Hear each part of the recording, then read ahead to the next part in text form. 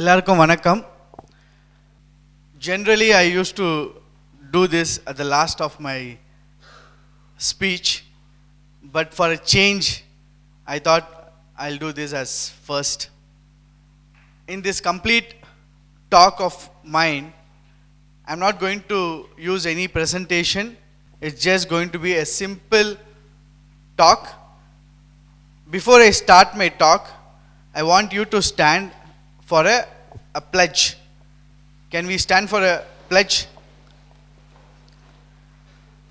And I request you to hold your hands like this. And what we have in our hand is Mother Earth. And I want you to repeat this Mother Earth, Mother Earth, you have been, you have been taking care of us taking care of us so far. Now, the time has come for us to take care of you. Thank you very much. That has a more a resemblance to my talk. In school days, we studied about golden age silver age, bronze age. Do you know what age today we are all living? It's garbage. And from this garbage, from this garbage, what age we have to change is green age. My dear friends, I'm going I'm going to share two stories which will motivate for us to change from this garbage to green age. One in Singapore 40 years back what has happened. 40 years back Singapore was as India today full of filth, garbage. One person, the power of one what Mahatma Gandhiji always used to quote. A non Singaporean who visited Singapore for study, who are rushing to take his ticket, getting into a metro train. Unfortunately, he had not noticed a signage which was kept on a, a platform, and that was literally a dirty water. He has dirtied his shoe, got into a metro train. As he got into a metro train, he was going here and there trying to find some space where he can sit. Unfortunately, no space available. An 88 years old lady who was sitting, she squeezed herself, created a space for this 18 years old boy, and then she called this boy and made her sit next to her. As the boy sat next to her, an 88 years old lady lifted both the shoe of that 18 years boy, kept on the tie and started cleaning with the cloth what she was wearing. And the boy could not resist, and the lady, as she was completely cleaning, not stopping from that, the 88 years old lady went to the place wherever he was walking. And this happened 40 years back, where there is no Facebook, no WhatsApp, no Twitter. Why? Even there is no camera phone as well. This incident happened 4 p.m. The next day morning 11 a.m. the entire Singapore was talking about this incident. The word of mouth. And at 11 a.m. the Prime Minister of Singapore wants to show the entire country about the attitude of what this 88 years old lady what was she was having. A basic attitude that this country is my country. Keeping my country clean is my basic responsibility. And today, unfortunately, we don't have, my dear friends. The reason why we don't have, most of the time, people used to say it, it's that attitude which matters. And today, what I see this earth as a, as a mother, as my first mother, and what you see as this earth as just a platform, a platform where we can sit, dance, dirty, urinate it, drill it, build house, and do all nonsense. I just want to recall here about the freedom today, what we enjoy. Today, as we celebrate 71st independence, this land was not given to us just like that. There were so many freedom fighters has shattered the blood, lost their life. Imagine if the family have thought about why my father or why my brother has sacrificed to the people who are living, who are dumping with all garbage and all kind of nonsense. What was the reason for British to come to India? Not to just rule people. The main objective for British to come to India was India's fertile agriculture land. The backbone of India, unfortunately, today is liquor and other things. But those days, the backbo- backbone of India, the GDP of India is determined by the agriculture. And for that land, there are so many people have sacrificed. Even not stopping from that, even today at the border, fellow brothers and even today girls are joining, fellow sisters are being at the border of India. For what? To protect the land India and also to the people. You don't know who was the recent army officer was shot. But you know what is the next Rajini movie is all about. That is where the India is where today we are living. We are not proud. We are not pride about our country. All our patriotism is all about when India Pakistan plays a cricket match, we want to sit in front of cricket and we want India to win. That's all the patriotism is all about. No, my dear friends, we have to justify to the loss.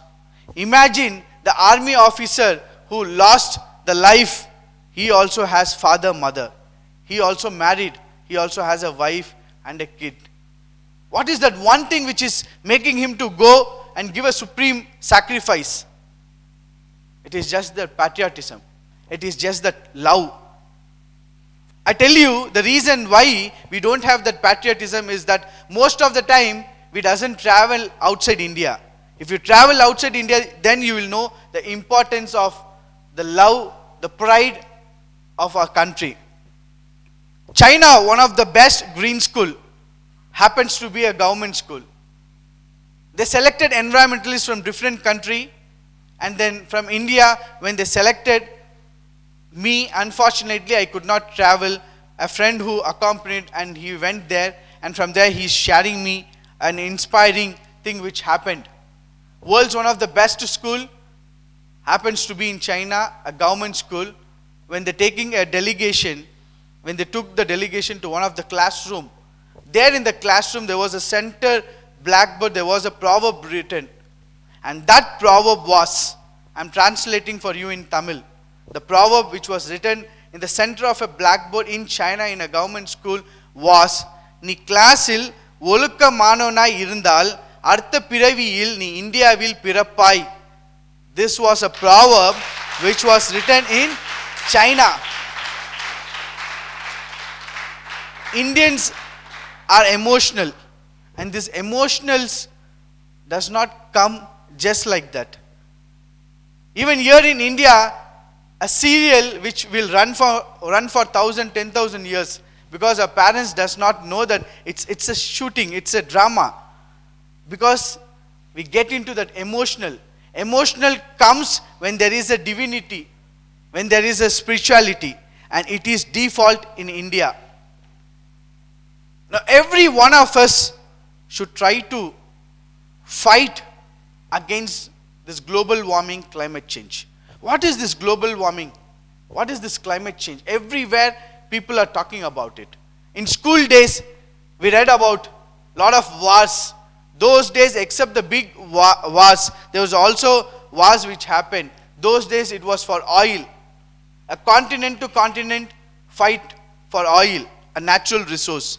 Soon later, it has come little close. Two countries, India and Pakistan, fighting for what? Kashmir, a rich, fertile land. I have been to Kashmir. If you drop a seed, next day you can come and see a plant comes out of a seed. One time, if you doesn't have a meal, you can take a sand and you can eat. that much of fertile soil is Kashmir. So from continent to country to country to state, two states are fighting. Tamil Nadu and Kerala, Tamil Nadu and Karnataka. Fighting for what? Water. What is water? A natural resource. So from continent, country, state and district. Imagine in Coimbatore, if there is no water and only one particular place the water is available, what will happen? Everybody have to fight. And that is what people are telling. We are going to witness the next world war, and that world war is going to be for water. So today the food what we consume, the food what we take is completely GMO, inorganic food. The water what we consume, it's completely the processing water where it has a lot of chemical into it. And the third, very, very important. See, without food, how many days you can survive? 21 days with drinking water and oxygen. And without water, 2 to 3 days. And without oxygen, not even a minute. So what is important? Today, so many innovation, technology, so many development is happening. 108 rocket, people are uh, launching. You see right from pager, Android mobile and whatnot, it's, it's all invention is happening. Is there an invention? Is there a technology which can absorb carbon dioxide and give oxygen? No. Who can do that? Who can do that? Only trees.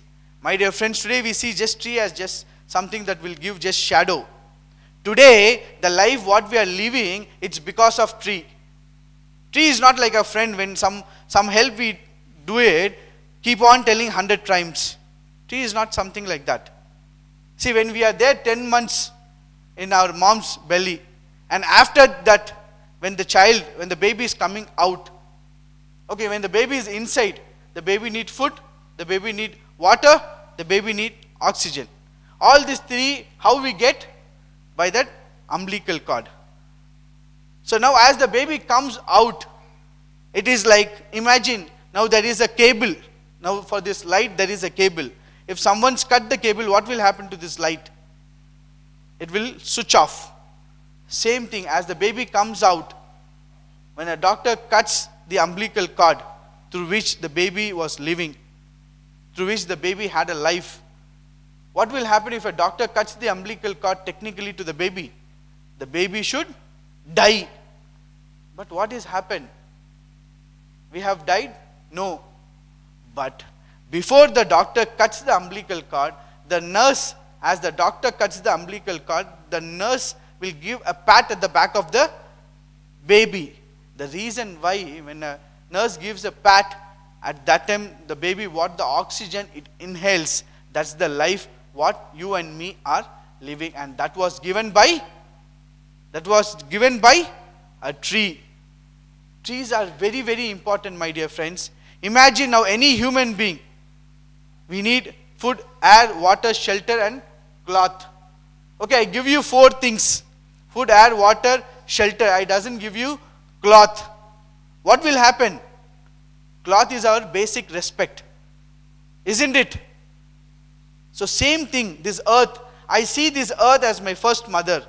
You see this earth as just a platform. So how cloth is important for us. Similarly, what is the cloth of this earth? What is the cloth of this earth? Trees are the cloth of this earth. Everything there is similarity. Like how 70 percentage of uh, our body has water, this earth has 70 percentage of. The earth has a life. The earth is our first mother. Today, unfortunately, every single graduate, when he holds his graduation certificate, he destroy thousand trees. How many trees? Thousand trees. Right from the day one when you join in LKG, you start reading about A for apple, B for ball. I'm not calculating anything, a product which we consume from the tree. I'm just calculating only the paper. The paper, what you read, the paper where you give your examination, where you write all your uh, practicals and all that. When you hold a final graduation certificate, there thousand trees are being destroyed. When we destroyed thousand trees, what happened? the 33.3 percentage has drastically has reduced. And today the city from where I come is just 5 percentage. And that 5 percentage is not because of the Varda. It was because of the people. We don't have to blame the rural part of India because they are the one, someone who does not damage. The people who damage is the people who are in the urban. And we are so selfish. Our selfishness is that the statistics says when someone could destroy thousand trees, the statistics says not even percent, uh, not even one percentage of people, uh, so not even one percentage of uh, that plantation is being planted. You can imagine. So in 2000, the city where I come, it was 33.3 percentage. In 2017, today it is just 5 percentage. So, on an average, if you look at not even one single city try to have that 33.3 percentage. Now, who are the one has to be blamed? Every one of us. Every one of us. We have been so selfish. We should stop, my dear friend. And I had a great opportunity in working with the, the late former President Dr. APJ Abdul Kalam ji, who had a vision for India. Who had a vision for India. And in one of his vision was to plant one crore trees in every state. And with his vision, because the only president who happens to meet 5 crore students, generally someone become a president, they're all busy in going to an important elite conferences and programs, but the only president who happens to go meet the children. And he had a dream. And what was his dream? Is about making an India a developed nation in 2020. That was his dream. So in one of his vision to plant one crore tree was his dream. And for last 10 years, right before meeting him, I left my job when I was working with Standard Chartered. The reason why, because if we doesn't justify to the great freedom fighters or the people who sacrifice for the life. One day we could witness like every December comes, the people in Chennai especially gets very uh, afraid about what disaster is going to come. We have been witnessing right from tsunami, Thane, Chennai flood, Varda. So it will spread across every city in future. And recently there was a conference which happened. They were telling there is a possibility of next tsunami and that tsunami will be 10 times stronger tsunami. And if 10 times stronger tsunami comes, what will happen? You imagine, my dear friends. So it is an high time, high time that we protect. And as I told you, the cloth is something which is very, very important for every human. This, the same thing today, when thousand number of trees when we destroy, it is literally the cloth which we removed. And today this earth, which is our first mother, she is naked and we are the one who are responsible for that. And big corporate company who rape the mother earth by taking water and no doing all kind of nonsense. We have to stop. We have to raise our voice and start planting minimum 10 trees as a, as a one percentage of what the damage which we are creating and let us give some kind of a respect of uh, a cloth which we can provide to the mother earth and as far as this 2017 uh, concern. I have planted 50 lakhs trees and this is very, very easy. Most of the time we think, most of the time we think that it is not possible. It is very, very much possible. And how we does it, it, it is with just simple mechanism of three things. So what we try to do, anybody who has space, they try to register with us on Space Bank. People who don't have money, who are just a student, who come and volunteer with us on every Sunday and they register with us on volunteer bank. And people who are not in India who are abroad people who have money who, who doesn't have time who doesn't have a space they register with us and tree bank. With that we could able to do this 50 lakh trees. And if you all join together we can definitely bring back that greenery and we can justify to the loss which the great freedom fighters and the army fellow brothers and sisters are doing. So with this opportunity, I thank once again, thank you, God bless, Jai Hind.